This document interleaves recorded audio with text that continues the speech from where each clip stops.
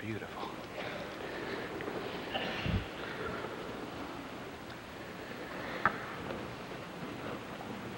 There was a man named Jesse. He and his wife had eight sons. Three of those older boys were away fighting a war, and unfortunately, that war was not too many miles away. There was a young brother, the very youngest of all the sons. His name was David.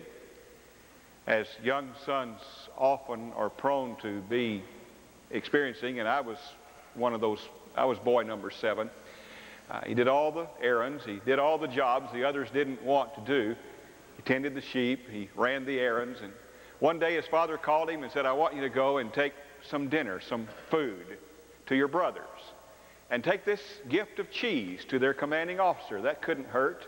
And find out how they're doing and bring back some assurance to me. When David got there, he found the battlefield like so many battlefields in that day. Two opposing armies facing each other so closely that they could hear each other. And between them was a valley, a mountain here, a mountain here, and kind of a plains in between. And for 40 days they had been aligned like that because you see, the strategy in that day was to try to get the other side to attack. Because if you could stay in the mountain that you were in, you could protect yourself better. If somebody had to come across the plain to you, well, they were more exposed and you had an advantage. And so they taunted each other and they shouted to each other and called each other's cowards and said your mother wears army boots or whatever they did to get them to sort of come across the, the plain toward them. And no one was buying that. And so for 40 days they stood there facing each other. But the Philistines had a kind of an edge in that 40-day war of psychology. For they sent out each day, twice a day, 80 times, a man named Goliath. And David got there just as the soldiers were on each side, were shouting to each other and psyching each other up and saying whatever they said. And then suddenly there was a hush and a quiet as Goliath, for the 80th time, entered that plain. In front of him was a shield bearer, a man carrying a shield some six feet tall, maybe three or four feet wide. Goliath himself stood six feet, nine inches tall. He wore armor that weighed 125 pounds. The shaft of his spear was big like a weaver's beam. The point on that shaft weighed 16 pounds, the same weight as a shot put. Frankly, I think the man was on steroids. and he would come out and for 40 days, twice a day, he had shouted to the Israelites and had said, come and fight me. Somebody fight me and we'll settle this thing right now. And if I win, we win the war. If, if you win, you win the war. But somebody come fight me. Is there anyone here who has that courage? And that had so demoralized those people in the Israel army that when he showed up on this time, they literally ran, says Samuel, 1 Samuel 17. They literally turned and ran in fright. David saw this. And the word had been circulated by King Saul, I will give to anyone who kills this Philistine, I will give great wealth, my daughter's hand in marriage, and your father will never have to pay taxes again as long as he lives. David just walked in. He had heard these things. He went to one of the soldiers and said, now, now what, what did the king say he would do? And uh, have you seen the king's daughter? and David's big brother, now we learned in 1 Samuel 16 that Eliab was the most impressive looking of all of Jesse's boys. He was tall and impressive, more impressive than anyone else. In fact, David was so little impressed in his family, or impressive in his family, they didn't even invite him to the meeting where they were looking for someone in the family to give great honor to. But Eliab, that big brother, saw David talking to the soldiers. And, you know, we don't know what triggered him. It could be the fact that his little brother had seen him run and cower before Goliath. It could be all the frustration of 40 days of being ready for fighting and, and not fighting and all this humilia humiliation and all this demoralizing effect that Goliath had had upon the whole army. But anyway, the word says that his, his anger burned within him. He was extremely angry at David and said, What are you doing here? Who's taking care of that handful of sheep? That's your biggest responsibility in life is to look after a few little sheep. And he not only belittled him, but he slandered him. He said, I know you. You're vain. You're self-centered. And you're here just to see us embarrassed. David looked at him, and Scripture doesn't say, but I think he smiled. And then went and talked to another soldier and said, what, what did the king say about you'd, what you'd get if you killed the Philistine? And have you, have you seen the king's daughter? Well, word got back to Saul that David was asking these questions, and uh, he was the only applicant for the job. And so the king sent for him to talk to him, and when he saw him, he said, Son, you can't do this. Why, you're just a boy. And this Goliath is a trained warrior besides being so big and strong. You have no chance at all to do this. David looked at him and said, When I'm taking care of my father's sheep, I fought other large animals. I killed lions and bears. And the same Lord who enabled me to destroy the lion and the bear will help me destroy this animal on the battlefield too. And Saul let him do it. That's the most amazing thing. Saul let him do it. He tried to put his armor on him. He tried to dress him up in Saul's armor. Saul said, you know, I've been reading uh, the Israeli Gentleman's Quarterly, and this is what it says every well-dressed warrior is wearing into battle this year. And you, you wear this, and, and it'll be good. And David put it on, and he couldn't wear it. Don't ever try to fight your battles with somebody else's equipment. And he took it all off and he just wore his regular clothes. The clothes he wore to tend the sheep in. I suppose today you might think it was a solid rock Jerusalem t-shirt. A pair of bugle boys. I don't know what he was wearing. Just the regular clothes he wore. And, and he walked out on that battlefield. And would you get the picture? Six foot, nine inch Goliath. Now the average height in that day was five one. Six feet, nine inches of Goliath big bronze headgear blazing in the sun, shield bearer in front of him. The only exposed place on that whole man's body was right here. David walked out there wearing the regular clothes he wore when he tended the sheep, carrying a shepherd's staff. Kind of for effect, I think, and it worked. Because we read that Goliath said to him, do you think I'm a dog? That you can come to me with, come at me with a stick? David had in his hand his secret weapon.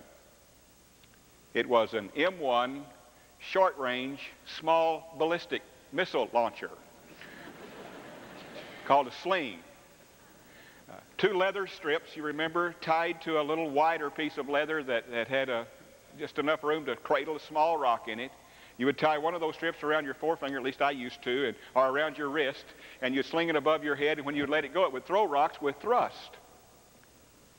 Now, I, I made and wore out at least five of those when I was growing up in the country, and I don't remember, well, I do remember the two times I had a great time of rejoicing because I hit the target. They're very difficult to use. No one used them in that day in battle because all battle was close at hand. Well, David had five rocks he'd put in his shepherd's bag. And as he approached Goliath, and as Goliath started moving toward him, David ran toward Goliath and, and with one flick of the wrist let that rock go and it embedded the giant's face right here and killed him. Now, the conversation they had had leading up to that, David said to Goliath, You come against me with a sword and a spear and a javelin, but I come against you in the name of the Lord Almighty. In verse 47, the battle is the Lord's, he said. And in verse 50 we read, So David triumphed over the Philistine with a sling and a stone. Without a sword in his hand, he struck down the Philistine and killed him. And the battle was won. The enemy was routed. This was the first step in David becoming the greatest king Israel ever had. This great day came walking up looking like any other day. That's the way it happens, isn't it? The great days, the days of giant opportunity, the days of giant failure. They come looking like any other day. This was just a young man whose daddy asked him to go take some lunch to his brothers at the battle. That's all. This wasn't planned, except in God's mind. This was one of those days that comes incognito. Great days in life, powerful days. And yet, all of his life, David had really been preparing for that day. Everything leading up to this time had gotten him ready for that day. Because you see, he was prepared. He was ready. The preparation was in his heart. Do you understand? It's what's inside you that really counts. People would look at Goliath and David and say, this one is the strong one. This one has no chance. But you see, it's the size of the heart that matters. It's what's inside your heart that really counts. It's who you are that means how strong you are and what you can do. David had prepared his heart. In 1 Samuel 16, we read that when Samuel had come looking for this one that God would anoint later, God said to him, This tall, impressive Eliab is not him, nor any of the rest of the boys. The one they didn't even invite to the meeting is the one I want. Why? Because his heart is totally mine. His heart is sold out to me, said God, more than anyone else in all this country. Pounds and inches didn't matter. That's not strength. What matters was what's inside the heart. I remember convincing myself in high school I was too small to play football. So I didn't play. I just let football go. I, I didn't think I had a chance. I wasn't large enough to play football. When I moved into the athletic dorm at Texas A&M University, one of my suite mates was the leading rusher in the Southwest Conference. He was my size. We wore the same clothes. We had to wear uniforms at that military school. We could actually wear each other's clothes all the way down to a shoe size. He was the same weight, the same size, the same everything, and I thought I was too small to play football, and he was one of the best in the country because the heart was in him burning desire. The heart was there. It's what's inside your heart that really counts. David was prepared. It was in his heart. You see, a wonderful thing happened to David while he was growing up. He got to spend hours alone. It's a wonderful thing to get to spend hours alone and yet not be lonely. And he learned that.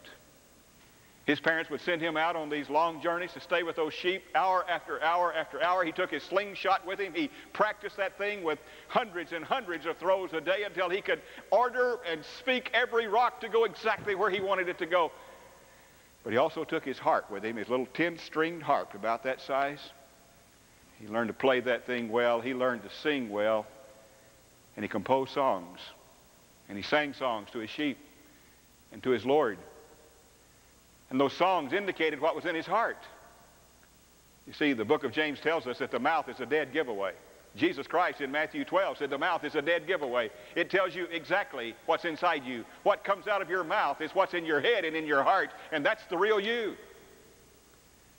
So the kind of songs that came out of David's mouth, his head, and his heart were, The Lord is my shepherd.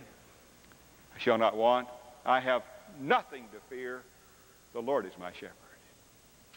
Bless the Lord, O my soul, and all that is within me. Bless his holy name. These are the thoughts and the words that reverberated in his mind. These were the songs of his heart. What songs reverberate in your minds?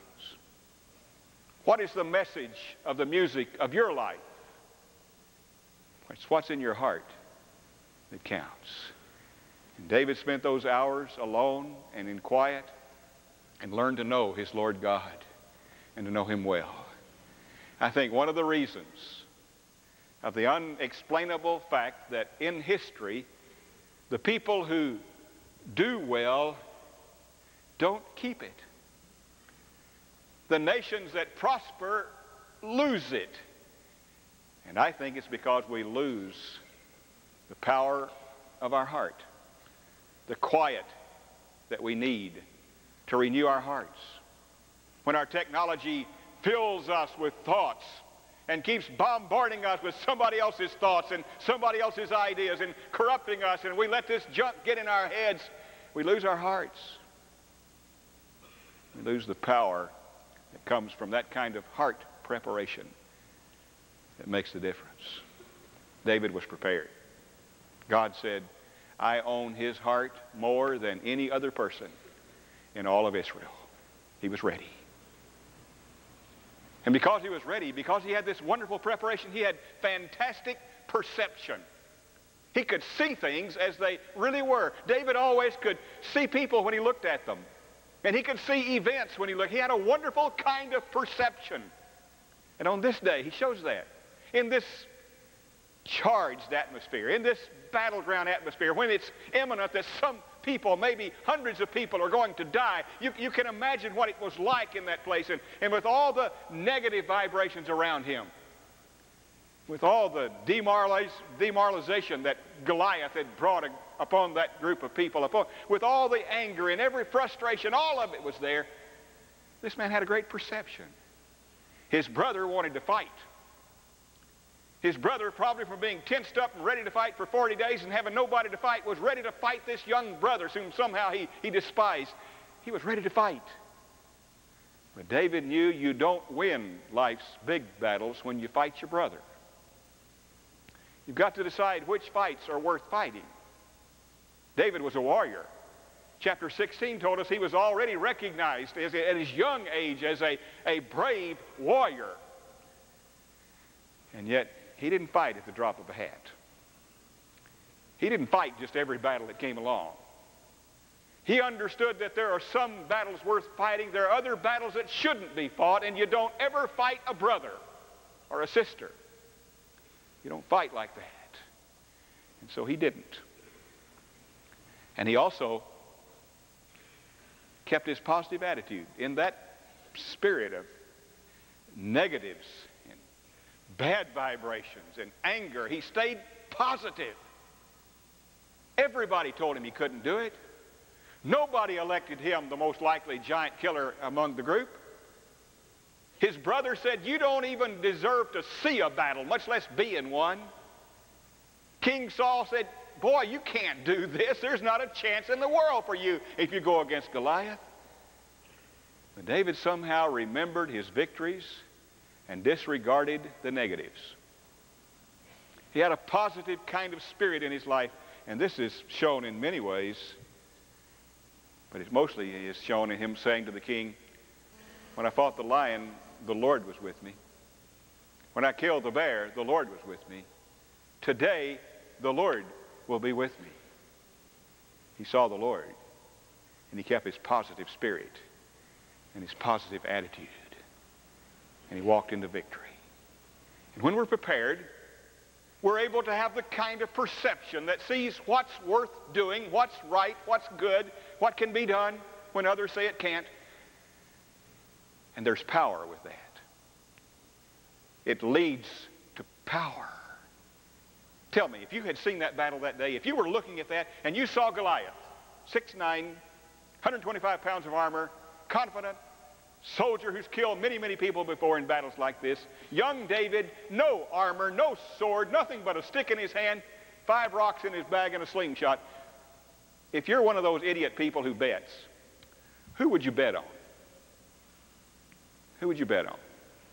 Where do you think the power would be if you looked at that? You see, there is in our world a Goliath illusion.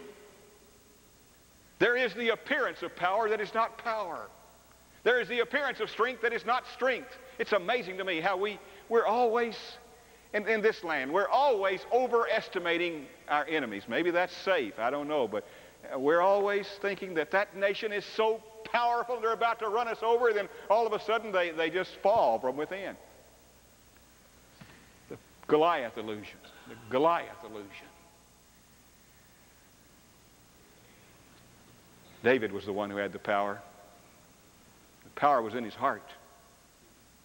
Power was in his character. Power was because the Lord God had him. There was power. You know the most amazing thing in this story? The most amazing thing in this story is that Saul let him do it. Do you realize that? Do you know what was at stake? If David had been killed by Goliath, and who would have thought that he wouldn't have been? Then King Saul would have been the first one to be captured and beheaded. They did that in those days. Many of the army would have been killed. The nation would have lost its freedom. All of this was at stake, and Saul let him do it. Why? Well, I think as David talked about, the Lord was with me when I killed the lion and the bear, I think Saul saw in David something he used to have and lost. Saul saw the power of God in David. He saw the confidence in the Lord God Almighty in David. And he said, Go, and God be with you. A word to you who are graduating as you go, God be with you, and He will. To all of you, as you go into your world, go and God be with you, and He will. You know God through Jesus Christ as Savior and Lord. And when you have the insight to spend the quiet time with Him, to let Him have your heart, to let Him fill your soul, to let Him be your God, then you will have perception and you will have power and you can go into anything and God will be with you. Dear Lord, I thank you. I thank you for, for the preparation that can be made in Christ and in times with you. I thank you that you can give us a perception to know which battles are worth fighting and which one you want us to be a part of. I thank you, Lord, that whatever we go into, we can face with all the power of the God who defeated death behind us and know that we're walking in his strength. Lord, help us all to go wherever you send us because we know that you're with us. In Jesus' name, amen. Would you please hear right now?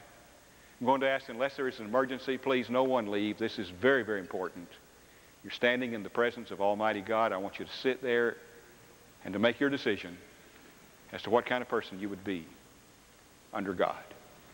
We're going to ask you to stay seated all during the invitation. And those of you who need to make public decisions, who need to come and ask Christ to come into your heart, those who need to come and say, I want to be a part of this church family, when the song begins, you stand up and come. All of us are here to make decisions. If you don't understand that, you don't understand worshiping Almighty God. And I pray your decision will be the one that pleases him today, whether it's public or not. But we invite you to come and make that public decision, and we'd be happy to meet you at the front as you do that. It's a joy to do that, always. But I pray you'll respond to whatever God would have you do. Right now, as we begin to sing, for public decisions, come quickly and let us rejoice with your decision. For all of us, let's reflect and make sure our heart belongs to God.